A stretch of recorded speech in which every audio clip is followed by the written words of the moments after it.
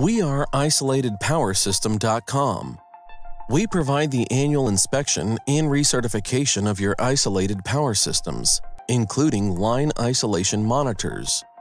We provide you with the documentation needed to satisfy the environment of care standards of the Joint Commission for the Accreditation of Healthcare Facilities, the National Fire Protection Agency, and state licensing requirements.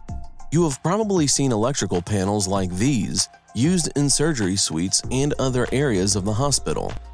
This device is called a line isolation monitor.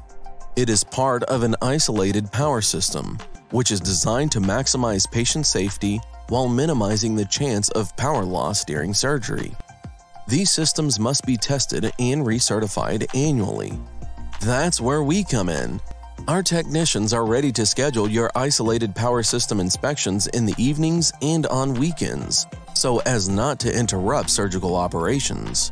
We test your isolated power systems and line isolation monitors for proper operation and accuracy, and we provide you with the documentation necessary to maintain regulatory compliance with NFPA 99, the Joint Commission, and all other regulatory agencies.